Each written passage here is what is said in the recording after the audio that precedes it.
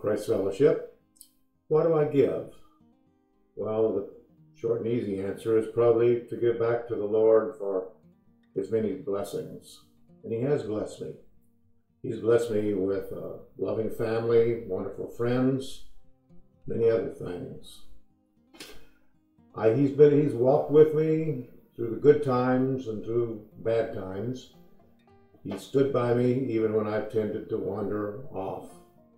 For the past 30 years, I've been the beneficiary of two wonderful faith communities. They stood by me, they've taught me, they've helped me when I've wavered in my commitment to the Lord.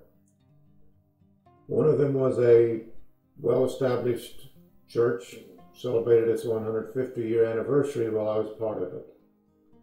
The other, of course, Christ Fellowship, a young church planted in a growing and diverse neighborhood.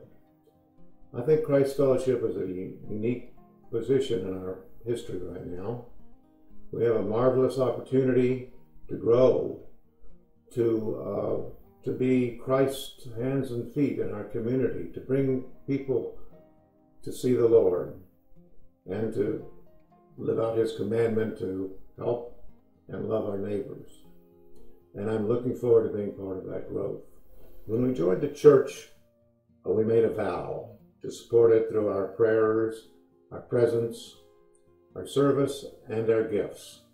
My hope and prayer is that each of us, in our own way, to our own abilities, will live up to that vow. Thank you.